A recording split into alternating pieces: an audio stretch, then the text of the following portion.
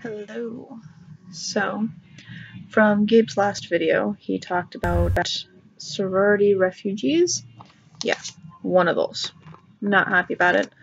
Are like, half of the house apparently flooded, and it's been just crazy ever since.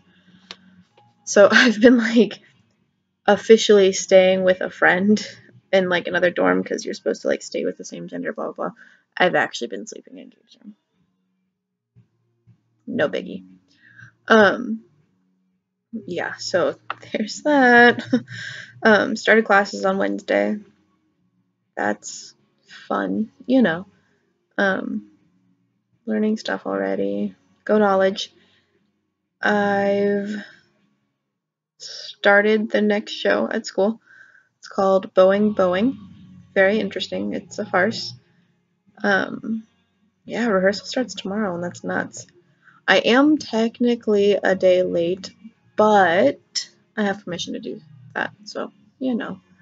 Um, right now I'm actually sitting at like Gabe's desk, and so like all the stuff you see behind me is actually all of his stuff. Um, I honestly don't know how this video is going to work out.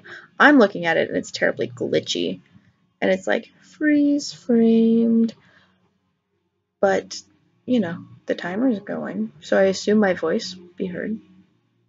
Who knows? I'm gonna leave it either way because I'm running out of time in all honesty. So, um, I'm trying to think of anything else that's new. Uh, no, not really. Um, yeah, no, it's just, it's been very interesting not having a room for like the first week.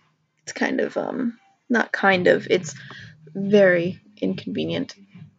However, I've got to spend a lot of time with some very good friends, so that's all I've really got for now. There will be some more soonish. So, night.